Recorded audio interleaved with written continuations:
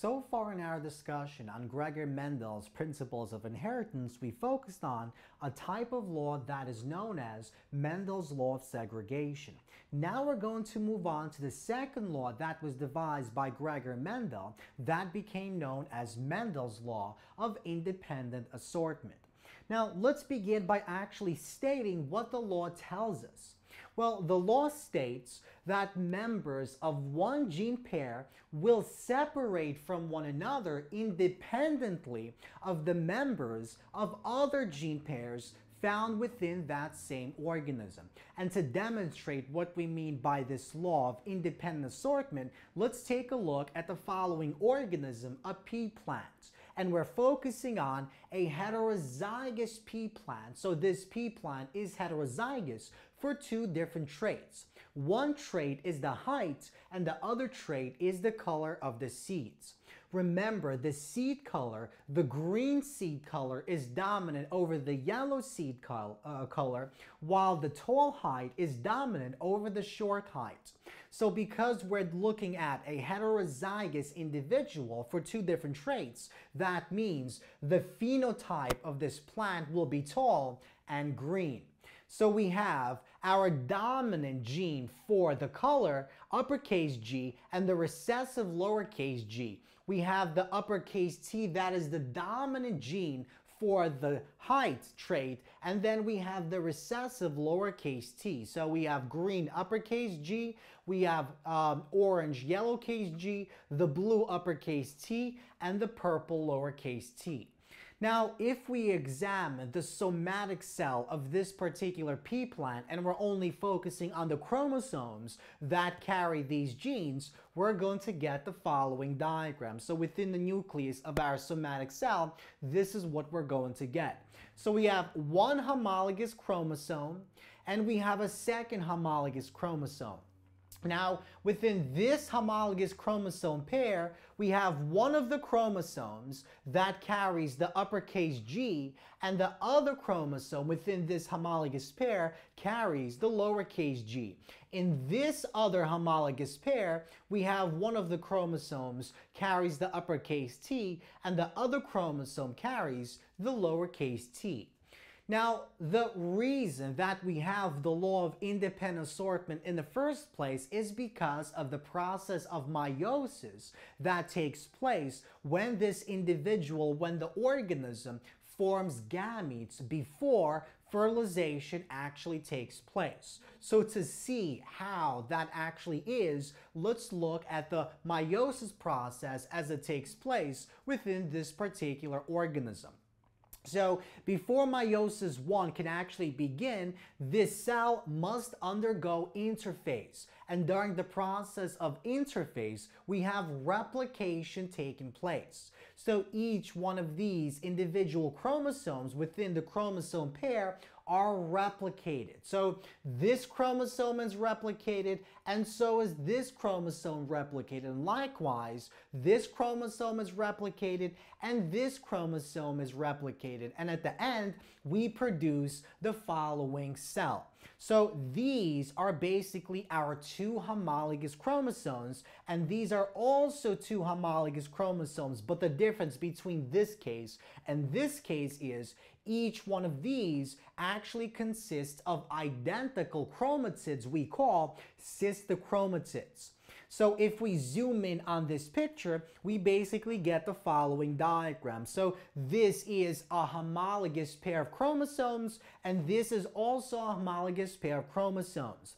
But within each one of these pairs, we now have identical sister chromatids. So this chromosome is identical to this one, and this one is identical to this one, but these two are homologous with respect to one another. So Remember, what we mean by homologous is they carry similar genes. They carry similar genes that code for proteins that express the same type of trait. So in this particular uh, case, we have the genes uppercase G and lowercase g that express the same type of trait, the color traits. And in this case, we have these two genes that are homologous and what that means is they code for protein that expresses the same type of trait, in this case, the height trait.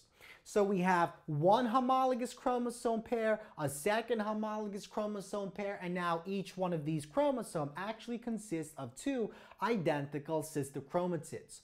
So this is what we have following DNA replication that takes place during interphase before meiosis actually begins. Now, let's suppose meiosis actually begun, and now we're at the stage we call uh, metaphase 1 of meiosis. So during metaphase 1 of meiosis, what happens is these homologous pair of chromosomes actually arrange themselves along the equator of the cell. So if this is the equator of the cell, this is how the homologous chromosomes are going to arrange themselves. So we're basically going to have this homologous pair of chromosomes like so, and this homologous pair of chromosomes like so. Now, this is where we have to discuss the law of independent assortment. So, what the law of independent assortment actually takes, uh, actually tells us is the members of one gene pair separate from one another independently of the members of the other gene pairs. So these two will separate independently of these two. And likewise, these two will uh, separate or segregate independently of these two. And what that means is within the cell, these two can be arranged like so, or they can actually be switched because that's what we mean by these being independent to the movement of these. So it turns out about 50% of the cells have this arrangement, but the other 50% of the cells actually could also have this arrangement. So these uppercase t's can be on this side and these lowercase t's can be on this side, or we can have this. And these two, as we'll see in just a moment, will actually produce different types of gametes. So let's carry out the process of meiosis for this particular cell type. In this particular case, uh, if at metaphase 1 of meiosis we have this arrangement, then what happens is these will separate to opposite poles, then cytokinesis takes place, and we form the following two cells. So we have cell number one and cell number two. So this is a where reduction of the chromosome number took place. In this case, we have the 2n number. In this case, we have the haploid number, 1n. So these two went to one cell producing this cell. These two went to another cell producing this cell. And now this is what we have in metaphase 2 of meiosis. And now once again we have segregation or separation of these sister chromatids which are actually identical take place. So we have the separation take place and now we form the following two cells. So one of the cells will carry the uppercase, uh, uppercase G, uppercase T to form this somatic, um, this gamete sex cell. Then these two will go to this side, will produce this gametes, this sex cell, and in this particular case, because we're not taking into consideration the process of crossing over, these two are identical. In the same exact way, these two sister chromatid, uh, this, these two sister chromatid chromosomes, so we have one pair and a second pair, will separate and will form these two gametes. So we have uppercase G, uppercase T, lowercase g, lowercase t. Now, let's suppose that instead of beginning with this arrangement, we have this arrangement of the chromosomes along the equator. So all we did was basically switch these two. And this is true as a result of the law of independent assortment. Or actually what we say is, what we say is because these can switch back and forth, and 50% will be in this arrangement and 50% will be in this arrangement, we call this process the law of independent assortment. So this is the biological reason, the biological basis for the existence of the law of independent assortment as was devised, as was described by Gregor Mendel following his experiments with pea plants. So if this takes place, these will separate to produce this cell. And this will be the arrangement of these chromosomes during metaphase 2 of meiosis. And now these will segregate uh, as well. So these will go to one, these will go to another one, producing uppercase, uppercase g, lowercase t, and these will go to separate sides, producing lowercase g, uppercase t.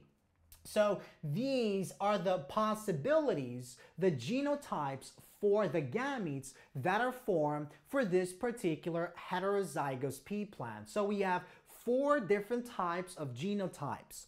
So we have uppercase G, uppercase T, this possibility. We have lowercase g, lowercase t, this possibility. We have uppercase g, lowercase g, this possibility.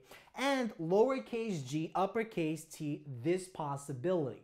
This possibility. And this, and this is the same exact thing that we see when we carry out the Punnett square for this particular individual, this particular plant.